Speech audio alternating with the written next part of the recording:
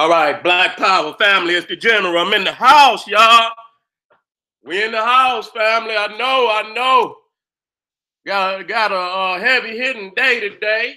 You understand what I'm saying? Gonna be me and the uh, young God Pharaoh gonna hook up tonight. We're gonna get on Vladimir, DJ Vladimir, the the uh the Yugoslavian con artist DJ Vlad trying to disrespect Dr. Sebi. We got to dig in the vampire's chest today. You understand what I'm saying? I'm most definitely bringing the sun, the almighty sunshine of Amun Ra, and a damn stake and hammer to nail this damn vampire and put his ass in the grave. Okay, that's gonna be going down after this particular video, this particular lesson. You understand? And then I'm on uh Sara's page today. We're dealing with the color spectrum of cosmic consciousness. And, and so I'm gonna be dealing with the various colors. And the other day I dealt with the chakra. So that was the first video, you know what I'm saying, of that series. So each one of these, we got an Egyptian series going down. We got the color spectrum, the uh, you know, the black divinity, Egyptian chakras. We're getting down today in, in the upcoming week. So this is a heavy hitting day today. Uh, don't miss shit. Don't do it. I'm in the middle of a thunderstorm slash uh, tornado warning. So we pray. We pray that goddamn it, while we doing the video, the general just don't float away.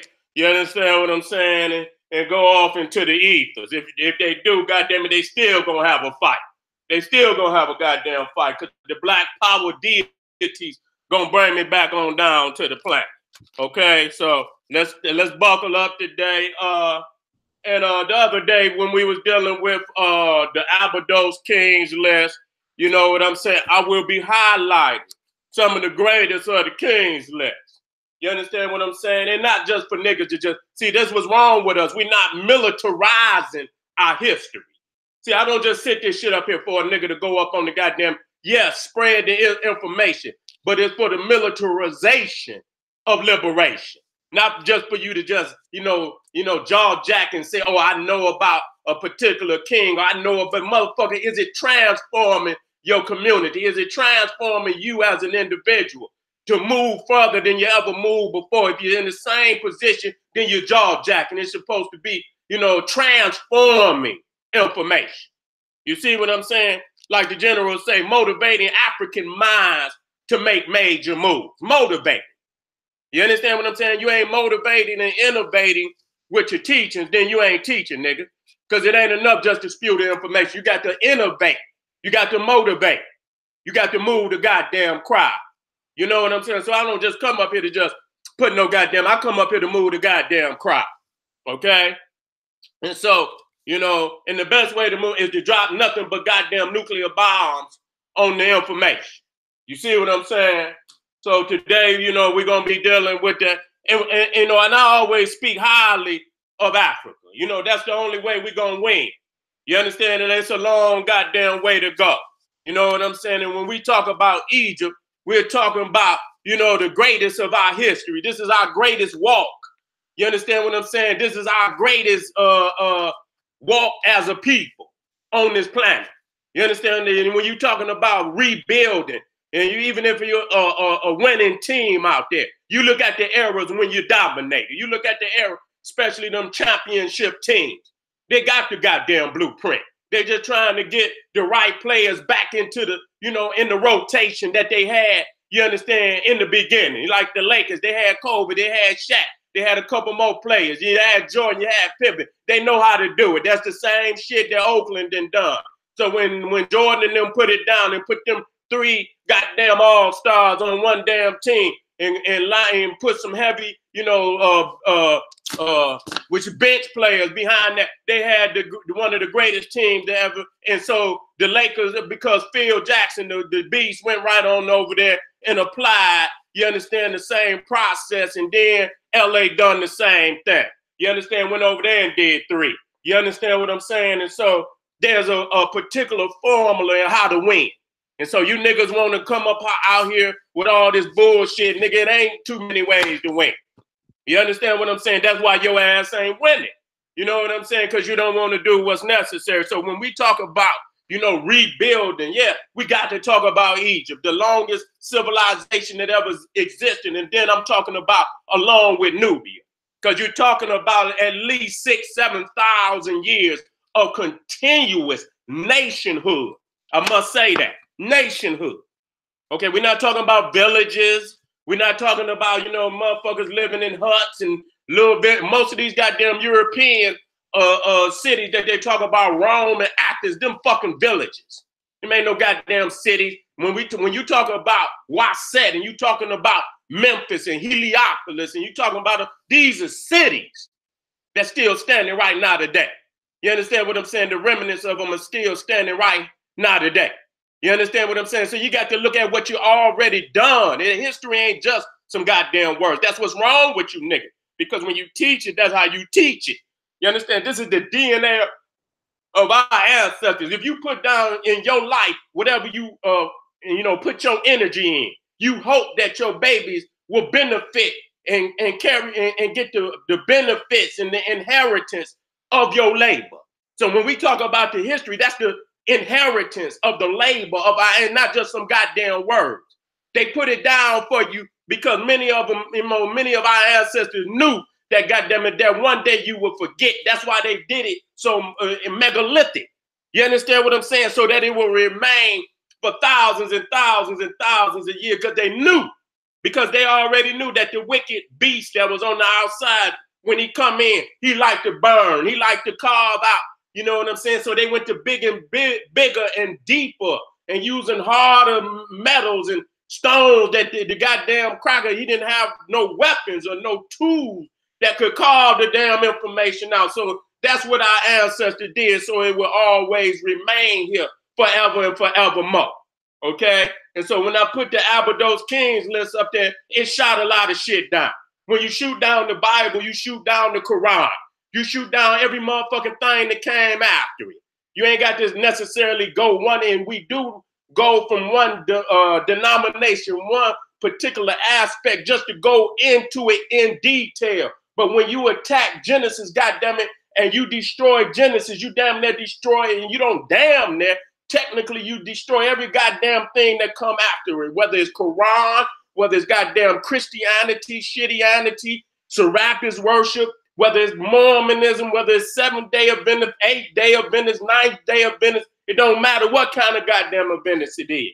When you destroy the goddamn book of Genesis, you destroy all that that come after because all of them are built and uh, validate that particular book. And so if the book of Genesis came before all, and that, you know, and, and the Quran say that Allah sent Genesis, well, goddamn it, he's He's connected just no less than, you know, connect just like the Hebrew, just like the Christian. He's connected to Genesis. He's connected to the Bible.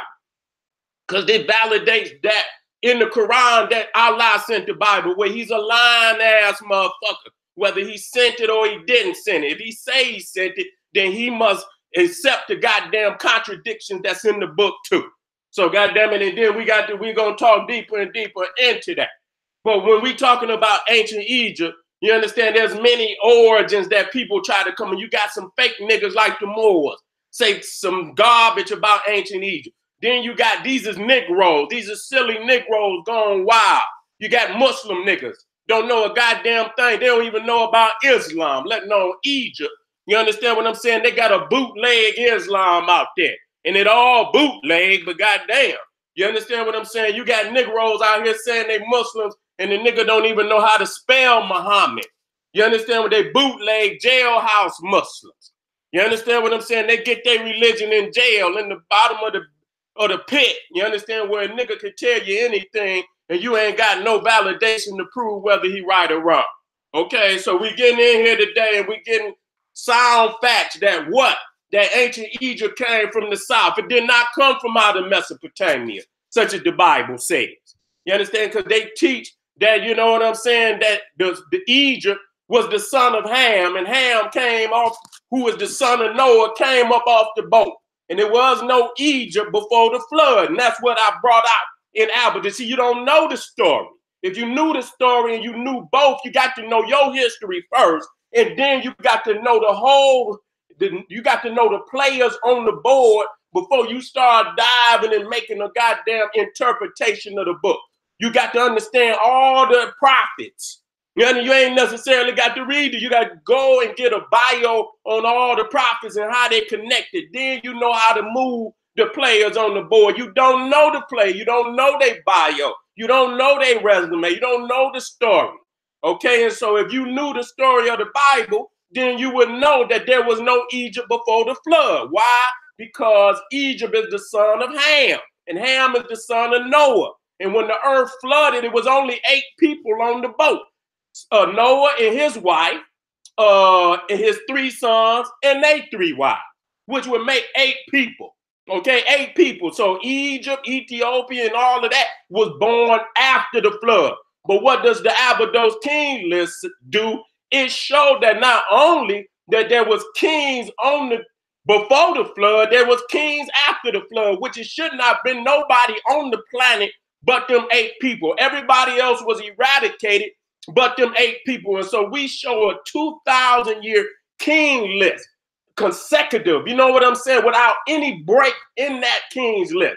So if there was a flood, even if Egypt, just say for the argument's sake, that there Egypt was existed at the time of some so-called flood, there would have been an abrupt stop at that particular time. And I showed that what? It was in the what? The fifth dynasty. So it shouldn't have been no sixth dynasty and no seventh dynasty and no eighth and ninth and tenth and eleventh and none of that. But you got megalithic structures all through ancient Egypt, 3,000 years, megalithic structures. If a, flood been no, it wouldn't have been enough people to build no megalithic structure. You would have had to repopulate the goddamn planet in order to get, and then how long would that have taken? Okay, so we've got to throw this garbage out. And I mean, it can't no be no more. We gonna be friends. I'm not friends with no nigga that's lying. You're lying. God damn it, I'm I'm telling you straight up. I don't give a fuck who you is. I speak to you in kindness as my brother, but nigga, when it comes to this information, nigga, we is at war. You was lying to the people, and I got to expose you for who you are. Okay, any offshoots of the Bible that's telling these goddamn lies, fooling our people. Egypt is an indigenous African civilization. And we're going to prove that. You, we're going to prove that, and you know, ain't no Ham or none of that. Ham could not have been the father of Egypt because Egypt existed before goddamn Ham. Okay? Egypt existed before goddamn Ham. So how the fuck is Ham going to be the uh, father of Egypt? We got to stop lying. We got to quit telling these goddamn lies and then they curse every motherfucking nigga in the Bible, and you niggas still believe in it. You got these sick Hebrews, and they sick. The niggas is sick. The shit that they say out their mouth. They say a few good things, and it's, it's submerged in a whole lot of fuck things. You know, that's like sprink- sprinkling sugar on shit. And I'm not gonna spray. I'm nigga. We gonna bake a whole new cake, all righteous and divine ingredients. We can't sprinkle sugar. Oh, Jesus had black feet. So what? So did Bill Cosby have black feet? But the nigga putting pills all in motherfucking women drinks and shit and doing all that kind of goddamn dumb shit. They say, oh, Jesus had woolly hair. So did R. Kelly. Nigga, he had woolly hair, but he running around here with these little babies doing all this fuck shit. Just having black skin and woolly hair don't mean you divine, nigga. And they play to you to you niggas ego. Oh, Jesus was black. Man, this, that, and the third. Motherfucker, that's playing to you a nigga ego. That's sprinkling sugar on shit so that you are accepting. And I'm not accepting none of that shit. You niggas can get the hell on up out of here with the garbage. It's time to come with the truth. And we got to understand that Egypt is solely indigenously, indigenously, indigenously African. Okay? Got to say that. Indigenous, indigenously African. When you got them big African lips, it's sometimes it's hard to express these goddamn European terms. You know what I'm saying? You get these European words, they don't come out necessarily come out like they supposed to come out. Okay? Native to Africa. Okay, we're gonna prove that. You understand that no Mesopotamia, none of that. Today we're gonna deal with two of the earliest kings of ancient Egypt, Narmer and the Scorpion King. I know you think that that motherfucker, The Rock and shit is the score of Nigga, get up out of your madness. Come up out of your nightmare. Okay, come up off of the lean and all of that. You understand what I'm saying? Here they go. They know how to use this goddamn psychological illusional warfare on you niggas and deter you from the right. And then the goddamn sick niggas, the Hebrews and all, they'll come and use that. seed. this is, you know what I'm saying? And feed off of that. They feed these Negro. So we dealing with Narmer and we're dealing with uh, the Scorpion King. And we're going to see that both of these great kings, what? Come from the South. South or West. Coming from the beginning of the Nile, and the Nile flows what? From south to north. Let's go on and get some uh, visuals up. We're going straight in because I got so much to do today. I'm not holding no punches on nobody. Okay, I want to get straight to the information. Let me get it on up here. We're in the house today. Uh-oh, family house. I want to thank you for all your support. What up, Patop?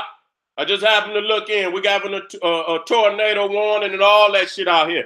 So we we prayed and shit that you know no no no winds come through. You understand? But with the God Amin Ra and Patan and Sekhmet and all the great neters that you know they will bless us and with a pass today. You see? Uh oh. The Rock, yeah, they say the Rock is the Scorpion King. The motherfucking crackhead king. That's what he is. Let me get the uh, let me get the uh, uh, lecture right quick. Let me get this lecture up.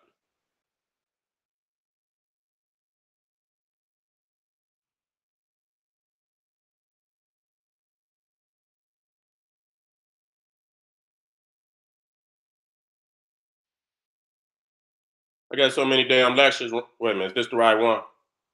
Okay, it's the other. It's the other. All right, here we go. Here we go. We're about to work out, family. Get your notebook. Get your notebook. And make sure y'all get on over the Side page after this because I'm working out. You know what I'm saying? We're dealing with this color spectrum.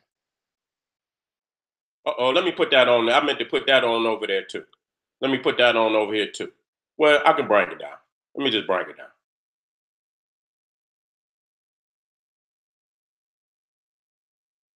Let me just bring it on down. Where's Narmer? Oh, here we go. Here we go.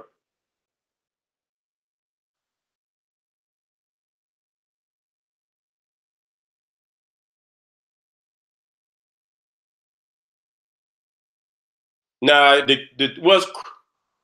Wait a minute. Let me see. I'm trying. Hold up, fam. Let me get exactly where you know I put. I got so much information in here. Where is Norm at? It might be on the other.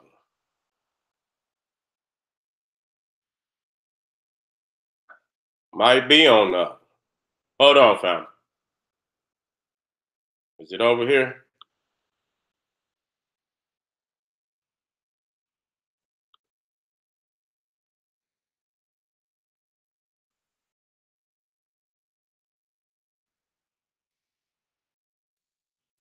Where you at, Narmer?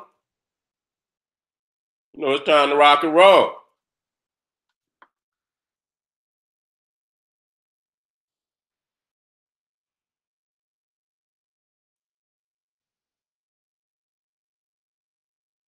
That's unlike me to not have no idea where the hell my information is at. Okay, it's not here. That's for damn sure. Not there. Okay.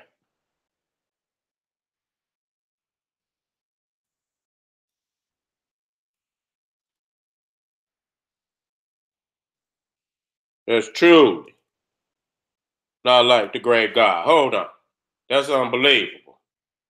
That's unbelievable. Okay. That's unbelievable.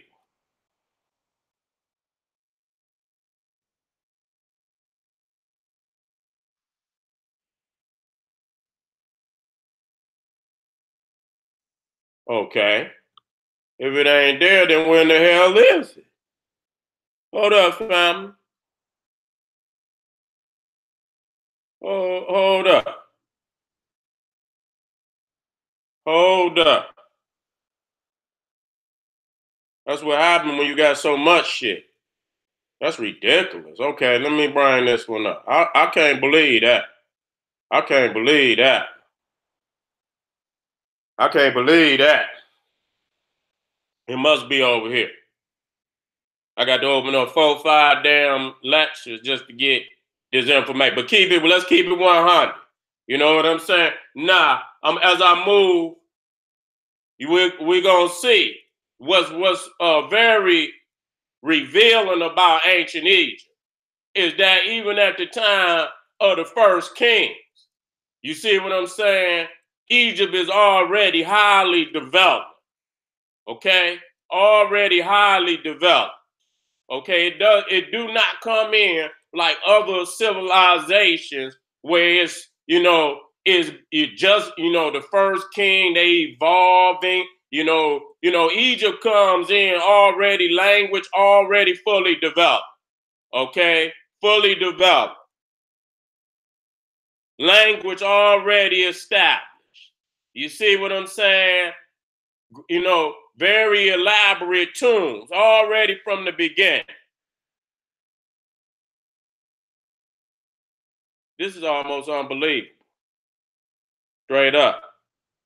It's almost unbelievable because I was doing this research and, you know, I had a whole bunch of slides, which right now I can't find one.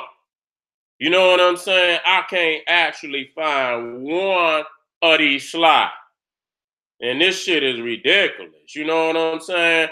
This is so, you know, this is not like me at all to not have know exactly where my shit is at. That's ridiculous. Hold on, family. It's almost like it was damn deleted almost. You know what I'm saying? It's almost like it was deleted. Like these goddamn beasts and broke in my shit. This is unbelievable. This is truly unbelievable. Because I'm actually, okay, wait a minute. Wait a minute. I found it. I found it. I found it. I found it. Okay. Let's rock, baby. See? See? I found it. Here we go. Here we go. Let's go.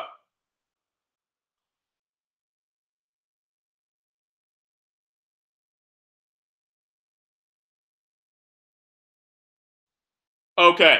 And so I introduced everybody to the Abydos Kings list. We went over that the other day. You understand? It is the oldest record of a dynastic rule on the planet. No people, no China man, no no Indian from over there, the Hindu man, no Mesopotamian, no biblical, no nothing. This is an original document. This is original document from the great King Seti the First, and you see right there his son in front of him, Ramesses the Second, and you see his hand is outstretched and it's saying, "Behold, my son." You know, these are your great forefathers, whom you should study and study well, and in doing so, it will elevate you to the to, to become the greatest king that will ever live. Okay, now the first king on that list. If you go all the way to the top and you see the cartouche right there at the top, you see the oval and you see you see a uh, you see a reed and you see a, a, a rectangle. You understand in, in, a water symbol inside it. look like you know when you make water like little M's connected. You understand what I'm saying? Uh, that's uh Narmer or Mena. Okay, Narmer or Mena, and many people believe that that's the same king and with various names. Okay? Okay. And so let me move forward. Now, according to, like I said, if you're from the biblical aspect, you if you come from the Bible, you'll be totally confused. because when you when you go through the Bible, Egypt, whose name is Mizraim, was was the son of Ham. And if you look from the uh, the second from the top, you see Ham was born in 2440, supposedly. We know the man never lived. There's no Japheth, no Ham, no Shem, no Cush, according, you know, in the aspects of the Bible. This, these are just fictional individuals, okay, to confuse you about the historical realities of our people. Okay, so if you see that Mizraim, which is supposedly Egypt, is the son of Ham, and then you look to the left and you see the Great Pyramids are standing at 2550 BCE, then how the fuck is this, you got pyramids in Egypt if it ain't no damn Egypt yet? You see what I'm saying? Ham is a damn father, and the damn pyramids are standing before Ham. So how in the fuck can Ham be the father of Egypt if the pyramids is already standing before Ham is born? Okay, we got to throw this garbage out of there. Okay, and if you go along with the Bible, it says the flood happened around 2344 BCE. How could that be? How could that be? Once we understand that when the flood, you see the flood at 2344, that there was only eight people that survived the flood. And that was Ham, Shem, and Japheth, their three wives, Noah and his wife, which is eight people. There ain't no Egypt. There's no Ethiopia. There's no children of Ham. There's no children of Shem. There's no children of Japheth. All of that come after the flood. So there should have not been no Egypt before the flood. But the fact is, we see the pyramid and they could be far older, which they are far older than 2550 BC. So it proves that Egypt was before the Bible, before the flood, before Ham. And so there's no way you can tell the history of Egypt based on the goddamn Bible. Let me keep it moving. So when you look and you see at the top to the right, you see the fifth dynasty, the, the great flood, 2344. You see, so the uh the great, the so-called great flood of the Bible fell in the fifth dynasty. Okay, well, if it fell in the fifth dynasty, it shouldn't have been no Egypt before the flood. But for argument's sake, we'll just say, okay, oh, Egypt existed, and then there's the great flood that wiped out everybody. It should not have been no six dynasty. Okay, it should not have been no because it wasn't no damn people on the damn planet. How the hell you gonna? And then you could go in all these dynasties and they build in megalithic structures. You got six. You can go in the sixth dynasty. They got megalithic structures. You understand what? Even in the intermediate period, was which is a period when there wasn't a national leader, but it was still high culture. So I don't want people to think that just because you see first intermediate uh, intermediate period, that just means it's not a national leader at the time, but there are chiefdoms, there are city states, and they still got high culture and high technology. Okay, you continue on into the Middle Kingdom. You got the 11th dynasty. You got Amenemhat. You got Amenemhat the first, Amenemhat the third, and it's under the I think Amenemhat the third. He built a a, a pyramid, one of the largest pyramid. And you see right there, the last pyramid built was by a Amenemhat the third. Okay, and so there's no way that you could have a flood in 2344 and you still building goddamn megalithic structures, 2100 to 70. No way, because it would have taken thousands upon thousands upon thousands of years first to repopulate the earth, and then secondly, it would have took hundreds of thousands of years for you to recollect the great wisdom it would take to build a pyramid. You ain't just gonna up and just build no that shit take hundreds of thousands of years because you got over a hundred different sciences and arts that it takes to cohesively intertwine and come together to even build the great pyramid. Okay, so when we talking about Narmer, okay, this is Narmer right here. Now the first thing I can show you and this is on the Narmer's palette. So you can already see how very exquisite they are carving in stone already. First king, see, highly developed, already got a crown on his head. You understand? Got a war mace. You understand what I'm saying? So when we talking about Pharaoh and we talking about the office of Pharaoh, it was already fully developed when the first king of Egypt sat on the throne. It was no development stage to ancient Egypt because when you look at the greatness of ancient Egypt, the most megalithic structures of ancient Egypt was built in the first, third, the third and fourth dynasty. When you're talking about the Great Pyramids, you're talking about the Great Pyramids of Giza were built, and the earlier ones were built between the third and the fourth dynasty. Okay, the greatest structures.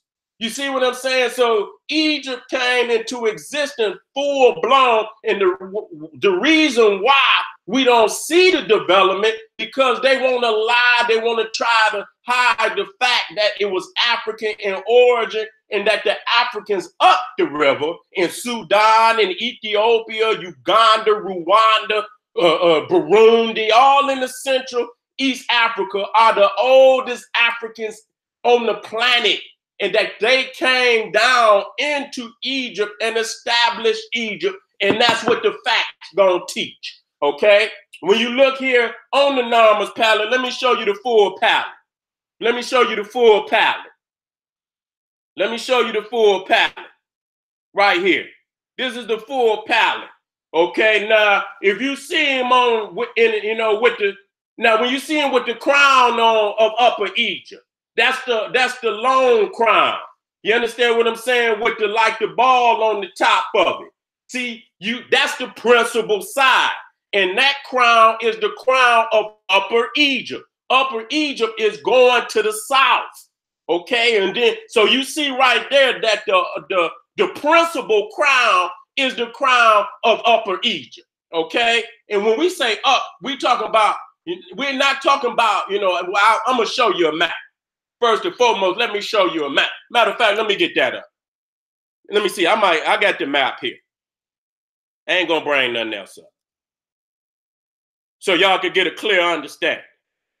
Right here. So if you're looking at this map right here, we we looking at the nomes of Egypt, Upper Egypt and Lower Egypt. Now, Lower Egypt is to the right. You see where you see Memphis is the number one. And when we say nomes, those are counties. You see what I'm saying? Just like you got a county in your state. So you got 20 counties in Upper Egypt. And then if you look to the left, you see that's uh, that I mean, Lower Egypt, to the right is Lower Egypt. That's the Delta region. It looks almost like a lotus. You understand what I'm saying? And then Upper Egypt is the stem. You see 22 to the left, 22 down to one. And if you look down at number three, you will see Niken, which is which they call Hiram, Hiram. Okay, this is where Narmer, the first king of Egypt that united, reunited both the upper and lower Egypt. Matter of fact, it was no Egypt until you know Narmer or Mena established. If you look to the right and you see number one, Memphis, because the first capital of Egypt was Memphis. So until Mena established Memphis, there is no Egypt. Okay? There is no Egypt before Memphis. So it was Narmer, so whom many believe one of his name was Mena, and that's where you get Memphis. Okay, and we're gonna look at the great god men. Okay, so up upper Egypt is to the left, 22 to 1. That's upper Egypt. So it's clear that when I talk about the crown, the larger crown is the crown of upper Egypt. And then when you see the short crown, that's the crown of Lower Egypt. So you see the principal crown and the crown that had the most power was the crown of the South. And it shows that where he came from, Niken, is deep in the South. That's deep. He um, I mean, technically that's Nubia. So before Narmer established Memphis, before he builds that city, Memphis, and establishes Egypt, 22 through one on the left side, that's Ethiopia. Ain't no Egypt. You see what I'm saying? Egypt technically is to the right, where you see number one, Memphis, Hecapata, in the which is the Delta region. Technically, that's Egypt. Everything 22 and up is technically Ethiopia. Before Egypt, there is no Egypt. And as you can see, before he establishes Memphis, you can see they already got 22 districts that is already in existence. And you can see, look at it, that they come what? From the south to the north. They coming down the river. You see what I'm saying? One, two. You so they coming from the south. And then even when you get to Memphis, you can see that they counting from the south. You see two, three, four, five, six. You know, they counting from the south. So the culture is coming from the south down to the north. Okay? So all these niggas that's talking about, you know, Egypt is not African and this, that, and the third. Nigga, you is out your damn mind. You don't understand nothing about the culture. You're illegitimate and you do not have the uh the uh the validation to teach anything about the Nile Valley at all. Okay, so it's clear that we showing where the first king, Narmer, come from Nikan, which is number three. If you're looking at the districts of Upper Egypt, which is technically Ethiopia, ancient Ethiopia, you see he comes from the third district. Okay, he comes from the third district, which is Hierakonpolis. And Nikan is uh the Hawk City, city, which Heru was the dominant deity of that uh, district. That's why they call the early kings the Heru kings. Okay, they call them the Heru kings. So when we come back over here to this principal scene, and you see to the left, that's the principal side. Because you see, he's almost as large as the whole palette. He's almost as large. And when you look to the right, you see he got the crown of Lower, which is a very small scene. He's conquering that region at that time.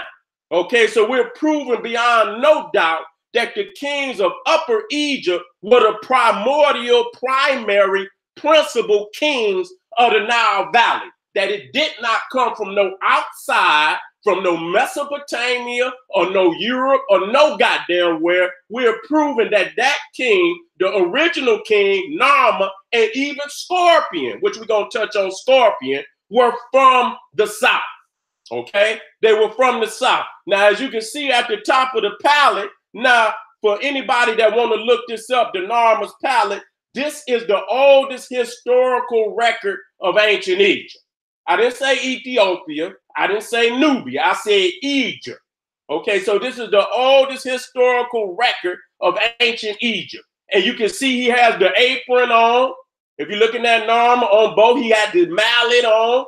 You understand what I'm he got his bull tail. If you look on the principal to the left, to the front, you'll see from on his backside, you see he got the bull uh, tail, and I'm gonna get off into that. If you look at the top, you see who had a root. The black woman is God. The black woman is God. You understand? So you see Het-Heru at the top of the palette. You understand what I'm saying? You even see the uh uh the replica of the Egyptian temple, which you see at uh, Saqqara, you can see that the whole aspect of ancient Egypt is already in existence. You understand what I'm saying? How you you know damn well don't know civilization come into exist, existence full blown like that. And the fact that they cut it off from ancient Nubia and try to hide the fact that Nubia is the mother of ancient Egypt is what put people in turmoil like that. And then, then see, that's the way they can slide the alien in on you and say, oh, the alien has something because we got to explain how Egypt come into existence full blown. How was they able? Because you're not showing the even more ancient development that come up out of uh, Nubia. Okay? And so let me move forward. Here again, showing you clearly. And now, you see the crown of, of Upper Egypt. Wait a minute. Where's where's them uh I might already then no, I didn't. Let me go get it. What is this? Let me go get it. It might be over here. Let me show you where this crown come from. Let me show you where this crown come from. Where is that? I'm gonna work out on these Negroes. Know what I'm saying? Where is that at? Lord, I swear. When you need some, goddamn it, I got so much shit. I'm in the process of just, you know, getting it all together. I just had it. And I need to show y'all this. It might actually be over here. I just had it too.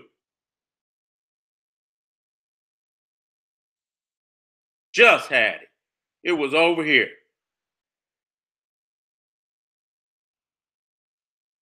If I don't get it immediately, I'm not going to chase it down because I got more work to do. You understand? Here it go. Right here. I'm going to just go on. Matter of fact, I need to put it over here. Fuck that. I need to put it right on over here. Need to put it right on over here. All right. And that way, when I get ready to put this Narmer King up there, okay? So here you see the uh the crown of Upper Egypt. We're in effect right now, family. When I say I'm gonna prove that it comes from the south, then I'm gonna do that. So when you look at the crown of Upper Egypt, you can see that, and I got even more hair, you know, hairstyle. You see, when a man uh, make a crown or he make a hat, the hat is conforming to a man's hair hairstyle. If a man got dreadlocks or whatever, you see how they had that bag. If a motherfucker got a short haircut, he gonna have a do rag. You understand what I'm saying? It's conforming to as many times the, the natural crown of a man's head becomes the blueprint for the ceremonial crown. Okay, so you see the ceremonial crown of Narmer, of, of Asa, is nothing but a ceremonial replica of the natural crown of the African man and woman. Okay, so when you come over here and look at Narmer, when you can see the tradition, you got to show where these traditions come from. You can't just say, "Oh, e- uh, Egypt come out of Europe." Egypt come. A motherfucker will show the cultural connection, show the the, the genetic connection to what you see in the Egyptian culture, and make the comparison to anything in Europe or goddamn Mesopotamia to justify you saying I'm out of Mesopotamia, come out of goddamn Europe. Here's the Scorpion King. Okay, now we seeing something. You understand? Nobody ever show us this. This is a mace head. This is a this was found at Nekin. This was found at Nekin along with the uh with the uh Narmer mace head. There's two mace head. If you see how he got that uh, mace in his hand, it's a ceremonial mace, though. It's not, it wasn't made for nobody in a crackhead. It was a ceremonial mace. Okay, and so this was the ceremonial uh scorpion king. You see the scorpion right next to its face if you look over, which is symbolic of the African goddess. Okay, now you see him, he got something like a uh uh is what you call it's almost like a shovel. You know what I'm saying? Where you and so you can see he's in this is a, a ceremonial ritual scene, just like you know when they get ready to build a building and the, and the people come out and they have a ceremony where they take one shovel of dirt and you know they throw it symbolically symbolically to let you know that the the great works of the building is about to uh, commence. So this is a ceremony ritual where they on holy ground, and so a temple is about to be established. But this, these are the earlier kings from the south that's coming down north. And as you can see right behind them, what do you see? You see the Twa, which they call the pygmy, which you see is Bes, which is Ptah. So you already see they don't show that. That did that the Twa were very interesting. Matter of fact, in front of him, you see the, the brother, and these are priests. If you look at the top, you can also see those are Twa. It's only about two pictures, which I'm gonna show on the normal uh, mace head, which you can see a little bit clearer. You see what I'm saying? So you see him up there with totem poles.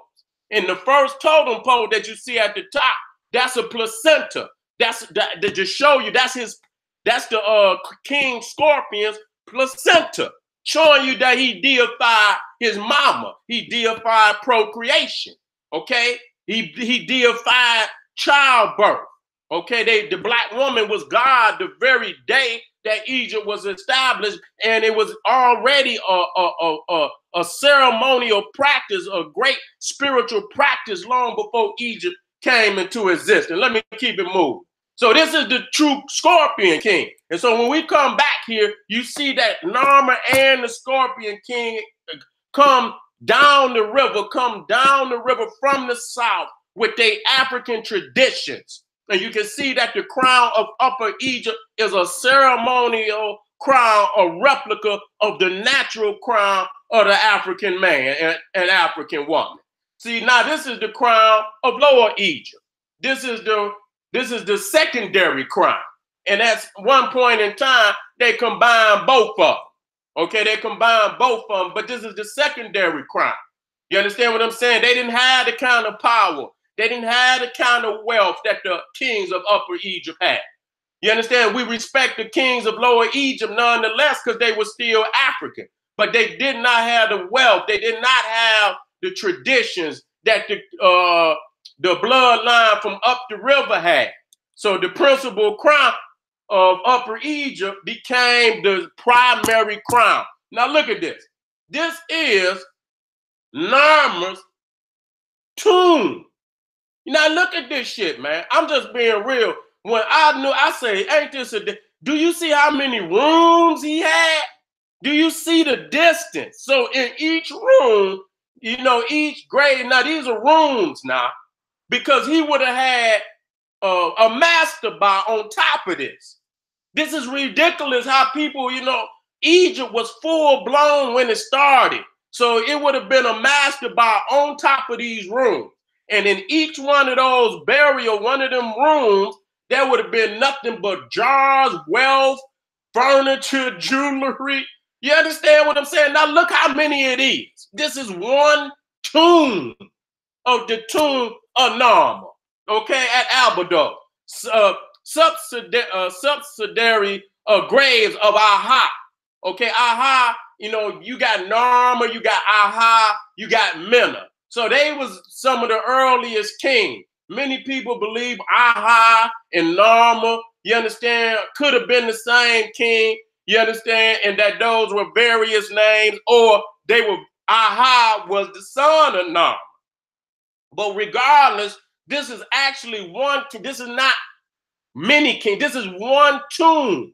And all of those burials that uh, or rooms that you see is for one king. Okay, now you look at it. This is the first dynasty. Now, where is the goddamn tombs of the Bible? Where's the tombs of Mesopotamia? Where's the tombs of the ancient Hindu? Where's the tombs like this that go back into 4,000 and 5,000 BC? This is not a civilization that's just getting started. You understand what I'm saying? So right here you see Mena. Okay, and I seen this statue. I seen this statue when I went to uh Britain. I, I tried to get it in. I'll show y'all the next time. I took no, it was at the uh Flinders Petrie Museum. Okay, they got another uh large head of now how's they carving on it? So you can see even from the Olmecs, you can see how large these large heads and and you know this is at 3000 BC though. You understand what I'm saying? This is at 3000 BC. They already now you understand carving stone. You need the damn tools. You got to build the skill. They would have had to been trying to craft that art at least thousands and thousands of years before they can actually perform on this level. Okay, so if they this head was carved at 3001 or during the reign of this King Mena, okay, or this King Mena at 3000 BC, how long did it take them to develop the damn science, to develop the, the tools to be able to carve on this level? Okay, so you talking about thousands and thousands and thousands a year before 3100 BC.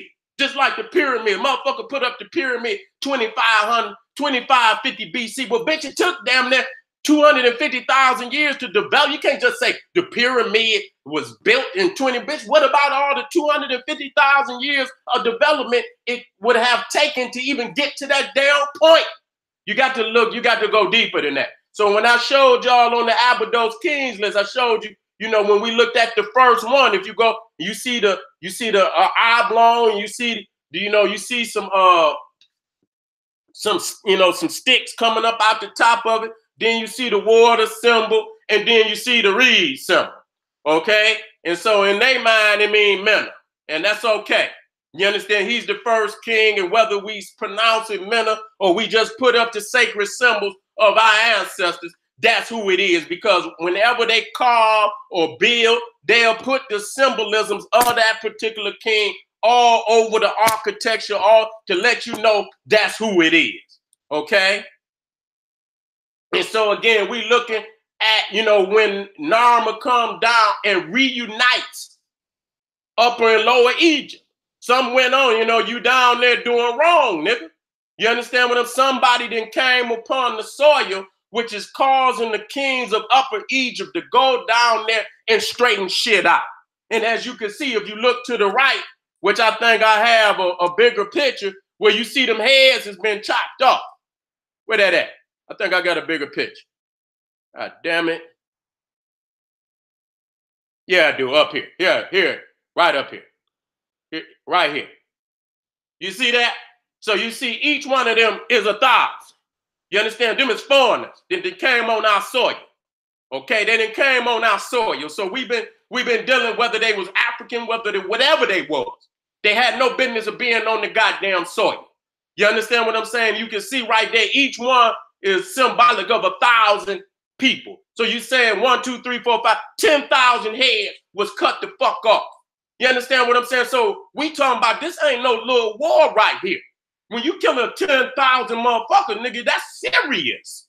You know, that's serious. And as you can see at the top, that this is the first military or naval operation in world history. Because not only was it a military uh, uh, operation, it was also a navy. Okay, they came down there on ships. So this is one of the first, not just of a boat, but of a naval operation where they where the soldiers came down on boats, which means that they were Marines. You got you got a navy and you got Marines. Okay, now if you come upon the land, then that's an army. But if you got soldiers on a boat, then that's Marines. So they that's the first, you know, uh, uh, uh, documentation of a navy of Marines in the history of the world. Okay, and you can see Heru, you uh uh on the uh, on the totem poles. You also see Anubis, and you see the placenta of the African king. Okay, so you see right there that they didn't cut heads off, and right there that shows the boat. This is the first king. This ain't the second king or third king, or this ain't the fifth dynasty. This is the very first dynasty. In many in many instances, they don't even put Narmer in the first dynasty. He's dynasty zero. Okay, he ain't even in the first. That this is dynasty zero. They coming down here to unite the two lands. Okay, Ethiopia and Egypt. This is what's happening. They're uniting the, and they were already united, but some somebody then came upon the soil, which caused the king to come down there and you know perform military operations to free the land. And what's clear you see right here, you see the Twa, which they call the Pygmy, which are in charge of uh, spiritual divine ceremonies and rituals. That's why Ptah, the first god, major god of ancient Egypt, and who the Greeks named Egypt after, E G Y P T A H, Egypt Ptah. Egypt was named after Ptah, and Ptah was a Twa was a what they call a pygmy, just like Bes. So you see that the two earliest gods of ancient Egypt were uh, Twa. And I don't like to call them pygmy, but if I say pygmy, you'll understand because that's what the Western world, you know, the derogatory name. Now, if you look behind the Twa, and you see the Twa got on the caps of top. If you look, and it looked like a couple of them got some dreads coming off the back too. You understand? Because you can see the length on the back. But the two in the back, you can see they got the caps on of Ptah to show you already that this priesthood is already in full fucking effect. Okay, and then you see what behind the twa, you see that African woman. You see that African woman come down there and she got dreadlocks and she got prestige. It looked like she got on the leopard skin too, which means she was a, a high priestess of the, the priesthood. and she's coming down there to check on Narmer. Okay, let me go on down here. When you see the whole uh you see the whole uh ceremony right here, I put this one up. You see her come down. She's in front of Narmer. She going down there to check to make sure he didn't done what he's supposed to be. You see, he already got that flail in his. If you see his arm, you see the the arm that's uh you know to to his to, to his to the side of his thigh got the uh, mallet in it. But if you look at his uh his left arm, it got the flail in it. So the flail is already the whole uh, uh, office of Pharaoh is already in existence. There's no development, even with the first king. There is no. It's already developed because this is actually an office that's taken from Nubia. That the first pharaohs were not the pharaohs of Egypt, but the pharaohs of Nubia and Ethiopia. And then when Egypt was established, they adopted the ceremonies of the ancient Ethiopians. Okay, and so for all the so-called Freemasons and Masons, when they wear their apron, you already see the apron of Narmer. And if you look up in front of Narmer, what do you see? You see the catfish at the top over what? The mallet, okay? Which is ceremonial in, in even in damn Freemason. You see the you see the uh you see the mallet, you see the uh the chi- uh the, not the mallet, but the chisel, okay, up on over the uh uh up under the catfish, which is right in front of Narmer, right in front of his face. You see two symbols. The top is a catfish, and right up under it is the chisel. Okay, so you see the mallet in his hand, which is also a symbol of Freemasonry. You see the chisel, which is also a symbol of Freemasonry. You also see the apron, which is a symbol of which they all stole from ancient Egypt. Let me, let me keep it moving. Let me keep it moving. Now, I want y'all to see this. If you look at the top, right there in the middle, again, you see the catfish and you see the chisel. You see what? Heru. And why she's at the top? Because Heru is also symbolic of goddess Nut, which the two goddesses represent the universe, goddesses of the universe. So you will see many times where Nut, who is the goddess of the, you will see the cosmos and the universe inside of her body. Many times you will see Heru, the cow goddess, with the stars inside of her body. And this is where you get the term Milky Way. Okay, you get the term the Milky Way because what? That this is in veneration of that holy goddess, cow goddess of ancient Egypt, which the Jews or Hebrews call the golden calf. Now, if you look in the middle between them two goddesses, you will see what? The catfish and you'll see the chisel, but they is they inside of a structure. What is that structure? That is a, a, a, a symbol, an ancient symbol of the temple. If you go to Saqqara and you can look right, you can look on the two ends of the, the, the square, you will see the uh the indentations inside of the temple that's also inside of the symbol on the Narmer's palette to show you that even the uh the uh the uh, representation of what the temple came to be in Egypt was already constructed. Okay, from the very first king, the temple was already designed. It was already temples before Egypt. Okay, we got to come. We got to do better with our history. We so ancient. We got goddamn Alzheimer's disease. We don't even. We didn't lost. We didn't lost our memory on how ancient we are. We got historical all time. Okay, but I'm here to, you know, give you a shot of that good melanin so we can get you up out of your madness and get you up out of, you know, your forgetfulness. And you understand what I'm saying? Get your back on the right path so you can understand that you're ancient people. And if you and, and you got to understand there is no other civilizations on the planet at this time. At 3100, there is no Greece, there is no Rome, there is no Mesopotamia. There is no India. There is no China. There is no other civilizations on the goddamn planet because the Africans was the ones that went out to all the other continents and established those civilizations. Okay, let me keep it moving. Let me keep it moving. What I want, and we see here, We see here, which later you see the Pharaoh as the bull. Okay. And you can see if you look to the right, you see what it looks like as a uh, like a fort, like a fortification. You know what I'm saying? If you ever seen a fort or a castle where they build large walls around a fortification, and it so it shows the bull. You know that's Osiris, which later became symbolic of Osiris, and just a you know the bull is a symbol of strength. It is one of the great symbols of the Pharaoh, and you can see that the bull, the great bull of Egypt, then broke the fortification of the fake foreigners that then come upon our land. And at this point, you can see they got straight noses and they're nothing but Europeans. So even at the early time, we had already been going upside their head. You understand? They've been trying to creep in, and you understand what I'm saying? Vagabond, they ain't even got no clothes on. You understand? Nothing but vagabonds and shit. And so it showed the great bull of ancient Egypt breaking the fortifications of, of the foreigners. Okay? Now let me come down here because we just talked about this. And so if you look all the way to the left, what you I just showed you the chisel which the masons took. I showed you the uh the apron, which is also a symbol of the masons, and then we see what what is that? That's the uh the square.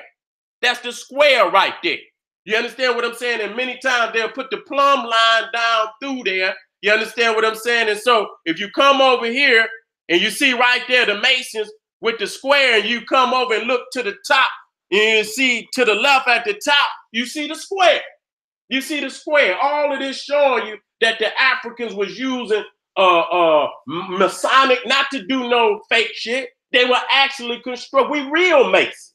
We're not op- we're not speculative masons. We're operative masons.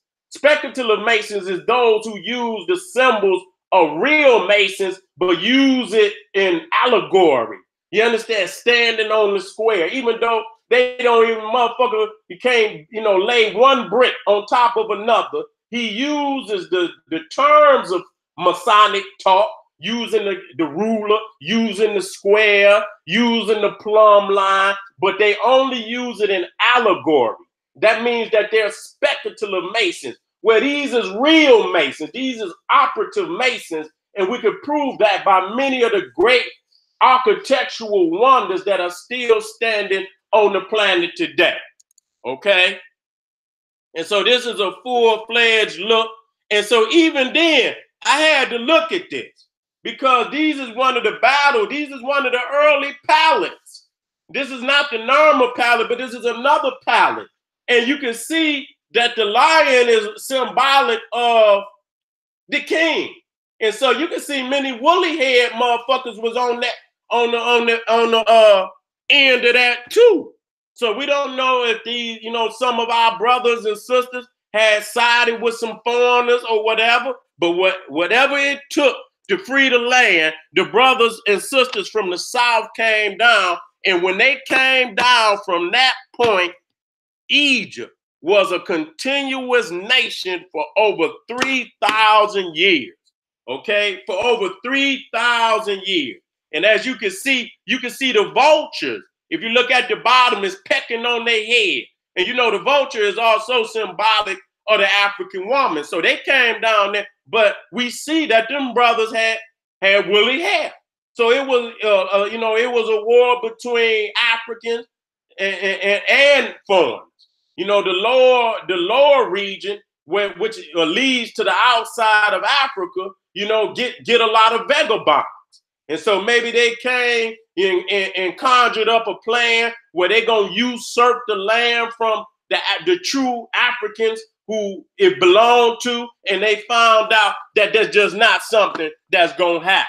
And so they ass got put to the sword. And you can see at the top, one you can look like one, but his ass is in chains too. It looked like his foot on top of that motherfucker.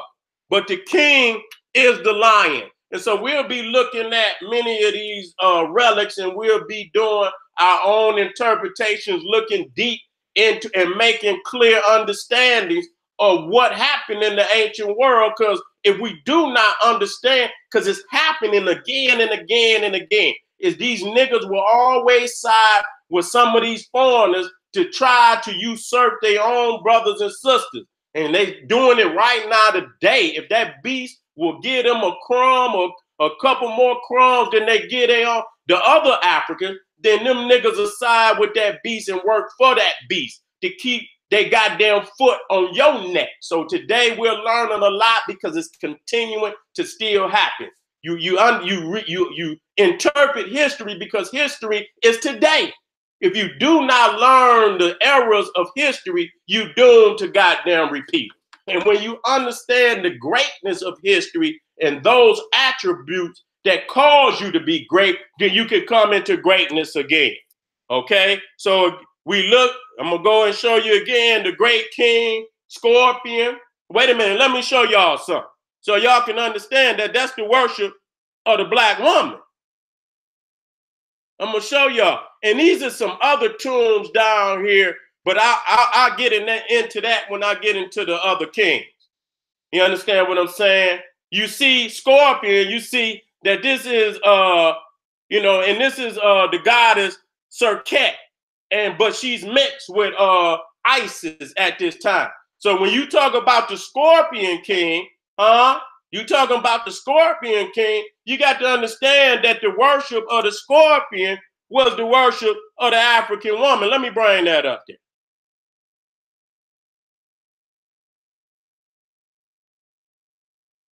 So we got a clear understanding before we get out of here. You see the scorpion, and then you come and see the scorpion king. You got to understand he was worshiping the black woman. The black woman is God from day one, nigga. Straight up. Straight up. From, from day one. You see right there, the scorpion king was the son of the great goddess Isis and Sir Serket. You understand what I'm saying? There it is. And then you come over here, great Narmer, and you see him right there. He's the king of all kings, coming to free the people, coming to free the land of foreign rule. I want to thank y'all for coming out today, family. We're dealing with the founders of ancient Egypt. We're dealing with the, the founding pharaohs of ancient Egypt, Narmer, and the Scorpion King. We're gonna get we're gonna get deeper into this because we're just getting into our series on ancient Egypt, and we're not coming up off of ancient Egypt for the next couple months. So we're going in very, very deep. I didn't dealt with all the other civilizations, but it's time to come home. And I intend on spending at least two, three months on the greatness of the Nile Valley. So y'all motherfuckers get get ready because we about to go in super deep on the Nile Valley. Let me come on out of here because I got to get on over here. I got to get on over here to uh Sara's page because we got to get into the color spectrum of cosmic consciousness. We're dealing with blackness today. I'm gonna go down the the, the uh the five, six uh, most prolific colors of ancient Egypt. I don't deal with the Hindu shit. I deal with the colors of ancient Egypt. Okay, and so many of them colors is colors of the Hindus, and y'all can deal with whatever you want to deal with. And I'm gonna be going into areas that niggas don't even know I'm going into. And I'm gonna be pulling a lot of coattails. I'm gonna be digging in niggas' chest, supposed to be African. I'm gonna get into, you know, the science of Mami Wata, you know, and you know, I got to get into some of that because many of our African, uh, you know, scholars and priests didn't strayed away. And I got to dig in your chest today. It can't be no crackatosis in this day and age. We got to come up out of that crackatosis. And you know, a lot of shit that niggas say that we just cannot slide. There is no white gods and goddesses in Africa, nigga. And once you understand the, the color spectrum of cosmic consciousness from an African perspective, and like I told you, cannot take another man's eyes and put them in your skull, nigga. We all got our own particular interpretation of the world and the universe because we are pre-coded with predestined responsibilities to the cosmos, and we're the chosen of the creator because the creator and the God that we understand is the sun. And when you understand that the sun is God, there's a clear thing about solar divinity. It separates the chosen from the curse. That's the one thing that solar divinity does. And when you accept that the Son in when you accept the Son as the creator, that means you accept all cosmic law. You accept all the great heavenly bodies and the energies and forces that's you know intertwined cohesively, intertwining everything in creation. That's what you accepting. Okay. And when you accept the sun, it's clear that it will clearly shine the light on those who are chosen and those who are cursed. And when you accept the fact that that man is cursed, it is it is your divine responsibility to remove his oppression from off of your back because there's no being chose is irresponsible and it is it, a, a, shame to the God Almighty to allow something that's lesser than, lesser than you to have rule over you and oppress you. That's the first thing that's gonna cause you when you come into your divinity. It's gonna tell you you got to get this man foot up off of your neck. Okay, all that humming and goddamn burning incenses and goddamn humming and um doing yogas in oppression with the man foot on your back. That's not divine. That's spookology. That's spook fuckingology. So family, come on over, run on over to Sara right now. God damn it, run on over to Sara Suten Seti YouTube page right now. Get on that motherfucker. And I'm gonna run down the, the cosmic uh, spectrum of, of cosmic consciousness. we dealing with blackness today. And then we're gonna go to green, we're gonna go to blue, we're gonna go to red, and we're gonna go to white. We're gonna go to white too, and we're gonna deal with that from the Nile Valley perspective.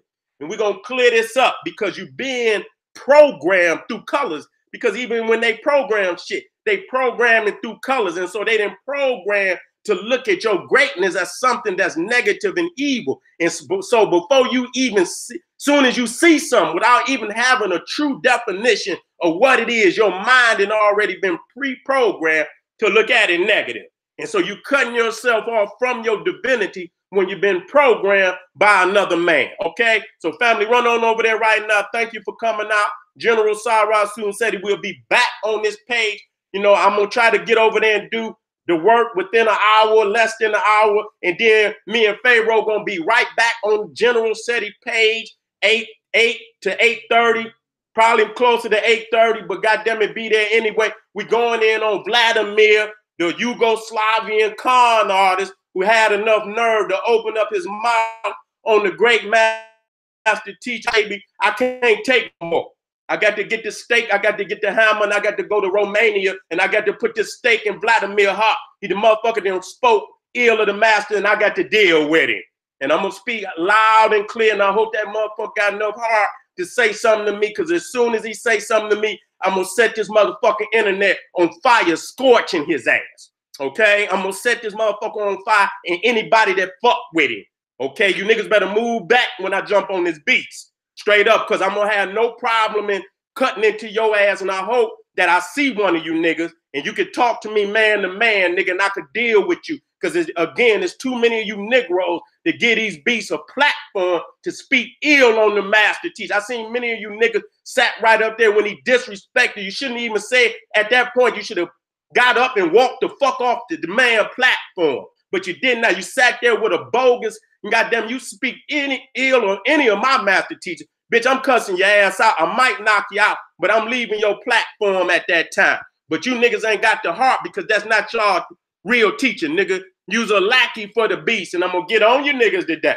I'm gonna get on you. So, family, stay in the house, be in the house. This is the General Sara Suten Seti's saying, hey, arm yourself with knowledge, bang on that wicked ass beast daily, liberation through African education and confrontation. I'm out. Sarah Susan said in two seconds. Boom.